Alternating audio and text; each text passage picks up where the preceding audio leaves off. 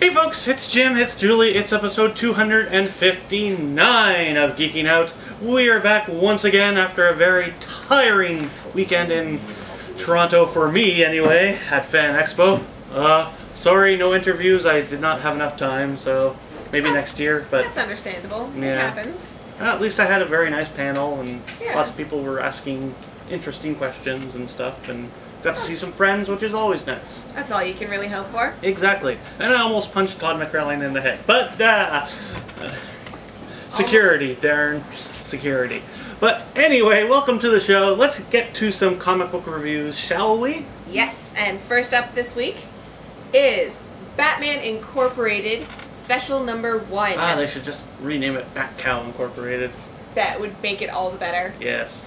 What we need is a That would make it utterly insane. What we need is a Bat Cow series. hmm It would be utterly fantastic. Yes. So, in this, Should I put an utter counter below us? it would be utterly fabulous. I think So- you're utterly right. in this in this issue, Batman is checking up on the Incorporated after having disbanded them because you know he's Batman and He can has that. to do that. Yeah. So this gives us a collection of short stories featuring all of the members of Batman Incorporated. Well, not all, sorry, most of the members of Batman Incorporated. But none of them matter other than Bat Cow. So, in the first, uh, the first short features Batman Japan as he faces a villain that's been stealing human organs. Squire learns to deal with life after losing Knight. Is that what you're gonna get? Red Raven contemplates the nature of bravery as he chases a villain up a skyscraper that's being built. El Gaucho, Night Runner, and Dark Watch try to figure out why all of the inhabitants of Buenos Aires have fallen into a murderous rage. Hmm. And Batcow saves a kidnapped in- infant. Because, you know, He's utterly awesome. He's utterly awesome and has utter disdain for criminals. Mm. So, this was a really good issue. I loved it. I got to meet some of the incorporated characters that I don't know so much about. I'd love to see more of El Gaucho. He's so funny. And I, of course, would love to see more Batcow. So, if you are interested Who'd in. have thought that Bat Cow would be the most interesting story in a Batman story? If you're interested in Batman Incorporated and seeing what Grant Morrison has been doing, this is a great place for you to meet the incorporated characters and see what's been going on. However, I will say that there have been there's one or two little spoilers in here, um, so you'll want to watch that. But I really think that you guys should pick this up. It's a really good read.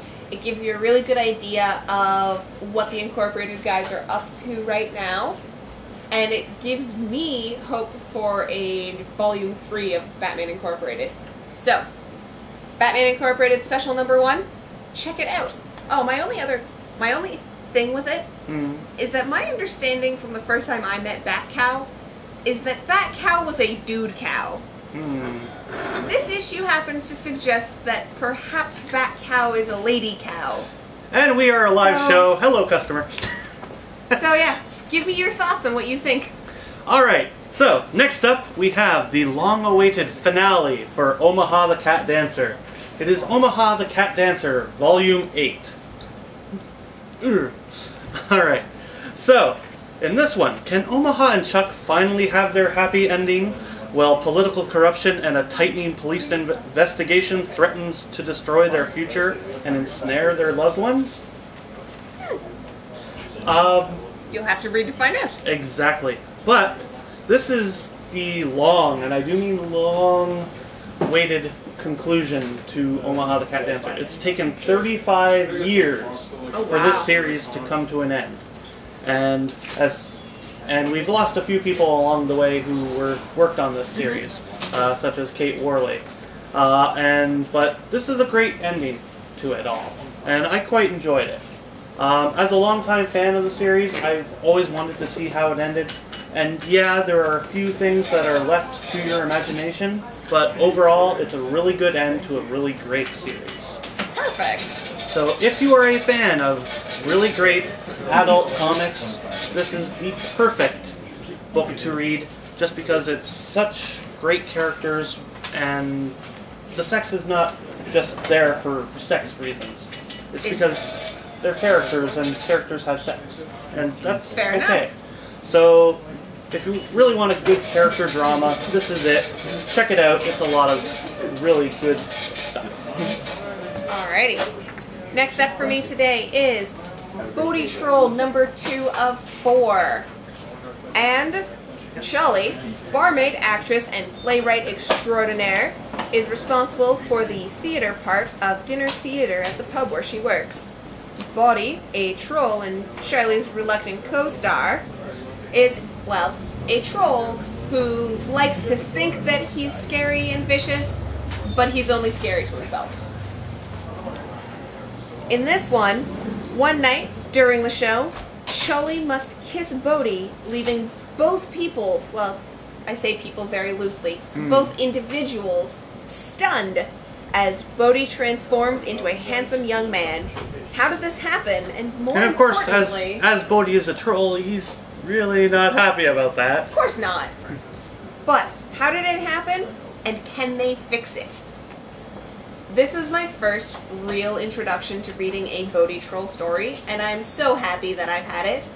Bodie's just an, a, a, a fantastic character. I really can't say And, enough about it. and him. quite frankly, it's great for all ages. It's a just a Yeah. fun book. Everything about it, it's clean, it's fun, the font is easy to read, the pictures, everything is appropriate for all ages, and it's just great. It's one of those wonderful books where parents can read it with their kid and not feel. And both can have a good laugh as well. Exactly, that's where I was going. So, if you're looking for something for yourself or for your young one or your the young one in your life, I would reach for some Bodie Troll. Alright, next up we have some more all ages fun as we have Itty Bitty Hellboy. Yes, Itty Bitty Hellboy.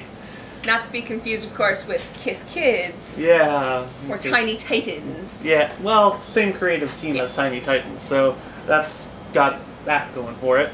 But anyway, what happens in this one is the evil Rasputin wants to have the biggest cardboard box hideout. But when he finds out Hellboy's box is bigger, he stops at nothing to obtain it.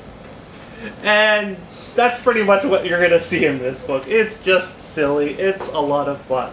Tons Um, of fun. and there's, of course, the naked guy in the bushes. But that's you just know- part of the fun. You know, that's so very important. It's very silly when he just kind of pops out of nowhere. Yes, I will give you that. But I had a really good laugh at this. There are so many visual gags and stuff that's just thrown in there for fun that it just works amazingly well. Even in the Hellboy universe. Nice. I mean, Hellboy itself can get very adult at times. Yes. But it does have a lot of elements that kids can relate to. So what they're doing with this is they're throwing all that right at you. And I like that. And the fact that it's pretty much appropriate for all ages just makes it even more worthwhile to read. And well, quite frankly, we need a couple good new all ages stories. I agree. I very much agree. Um, so yeah, if you're a Hellboy fan or wanting to introduce your little one to Hellboy, this is the perfect way to do it. And it's a lot of fun, and you'll have a good laugh as well. All right. Last up for me today is Ender's Game Battle School number one. I have the hardcover here with me today. It's a very nice, pretty hardcover. Also works great as a weapon. Ow. Uh, but I'm only talking today about the number one. So, and this is in preparation for the Ender's Game movie coming out in November. So, in Ender's Game, Andrew Ender Wiggin is a six year old boy, the younger brother of Peter, an overly aggressive young man, and Valentine, a very mild mannered young lady. And he also conveniently, or inconveniently, depending on what side you're on, happens to be humanity's greatest hope in defeating the Formics, an alien race that attacked Earth generations before, that they are still prepared and fearing a secondary attack. I can't say enough good things about this. I've read the book very recently, so when I picked up the comic, I was anticipating a small amount of disappointment just because I find that novels that go to comics often Generally miss out on a lot of things. yeah. Exactly. I didn't feel that way with this. If you've read the book, I really, really recommend picking this up and reading it because all of the vital information is in here. You miss a little bit of dialogue, but all of the key points are right here and they've been drawn beautifully. I loved the art style. It really, really does a good job of conveying all of what Ender's Game is and can be. So, if you're excited for the movie, definitely, definitely go pick up a copy of Ender's Game Battle School and Command School because it's just a really great way to tell the story. Though we won't go into politics with No, horses. we leave the politics out of it. Exactly. Alright, and last up for me this week is Gold Digger Gina versus Penny, which is a one shot. And in this one, when the world's two smartest archaeologists slash adventurers get into a prank off, they start going too far, too fast, and they may hurt the ones they love with their very silly, bad pranks. Sad face. Yes. So, alright, if you're a Gold Digger fan, you're probably going to buy this anyway. Uh, it's very much a one shot in that it really has no consequence on the ongoing series. Okay. So you don't really have to read it to know what's going on in. And there's no real continuity. Exactly, yeah. Um, they might say, like, check out this or that, but uh, nothing really that goes into continuity too much or anything like that. Okay. Um, it's not a good introduction to Gold Digger um, because it's really just more of a joke book of the two characters playing really horrible, horrible pranks on each other, getting each other stuck in alternate dimensions, etc. Which Awkward. is yeah, yeah. So unless you're a really big Gold Digger fan, I can't really recommend it. I pretty much went as much as I love Fred, I pretty much went mad at the whole thing. It just kind of did not get me as a fan of Gold Digger. But uh, What. I loved about this is this header right here, which, if you remember back to spring of 2012, which was Mhm. just spring of last year, they've ripped very nicely on the AVX header Ah. that they used. So I really I enjoyed that. okay, um, but other than that, really, unless you're a gigantic Gold Digger fan, I can't really highly recommend it. So don't really pick it up unless you're a gigantic Gold Digger fan. All right. So that brings us to the close of another exciting episode. Yep. Uh, be sure to join us next week as we begin DC Villains Month. Yes.